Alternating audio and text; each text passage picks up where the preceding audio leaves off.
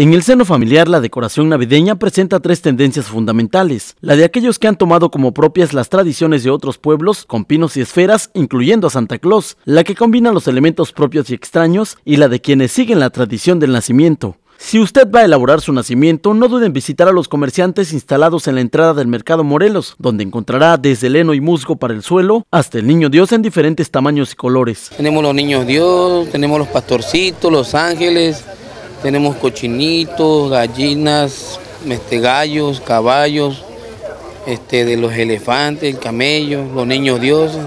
Oiga, señor, ¿y los precios de las, de las figuras?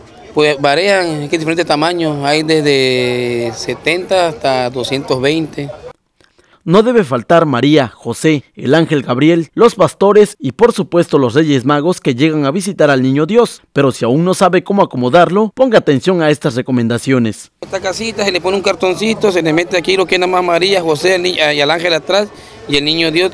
Y aquí por fuera se le ponen los, reyes magos, todo lo demás. ¿Y si es más grande? Pues es más grande, pues ya cabe todo lo que es María, José y los reyes adentro. Y afuera le pongo los animalitos.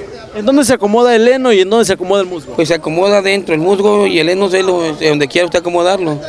Además de las figuras clásicas, en los puestos desfilan las casitas elaboradas con la cáscara del árbol de pino, con un ingenio mexicano incomparable y precios al alcance de su bolsillo.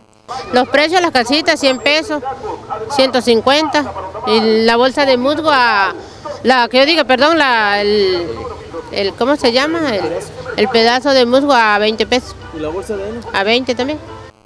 Son más de 10 comerciantes los que esperarán con buen gusto y sobre todo con una gran variedad de artículos para elaborar su nacimiento, pero no tarden en acudir a comprar y arme su nacimiento antes de la Nochebuena para que tenga una feliz Navidad. Fluvio César Martínez, más noticias.